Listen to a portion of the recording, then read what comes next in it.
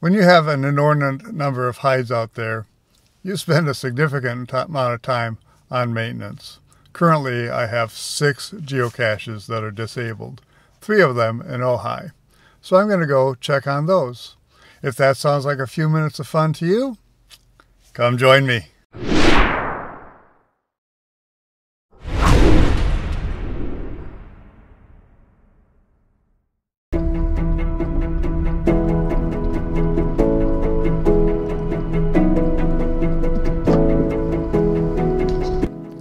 So, isn't this the cutest little geocache? It wasn't missing, just somebody had pushed the cork in and I had to take it home and get it out. So, need to go put it back. And you're not going to believe how it's hidden. I'll be right back.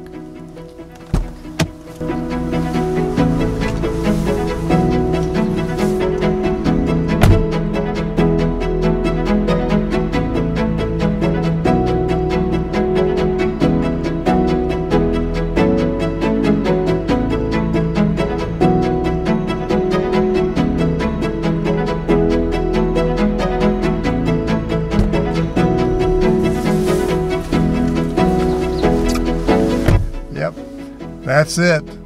Busy restaurant, outdoor seating, been there for seven years. Well, let's go on and get the next one done.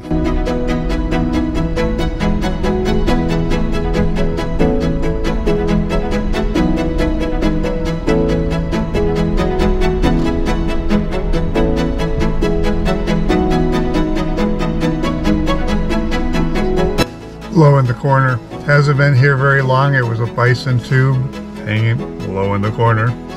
Two uh, experienced geocachers reported that they couldn't find it, so I'm going to check in case someone decided that they want to steal bison tubes.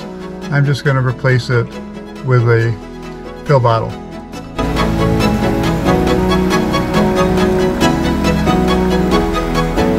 Well, I guess technically it's not low in the corner, but it was gone. And so I have changed the height just a little bit and hopefully it'll last.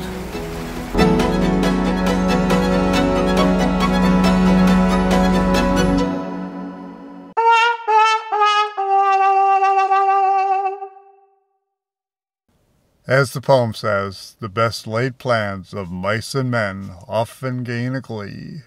But we got two of them put back into service, so that's pretty good. And I want to tell you, thanks for joining me.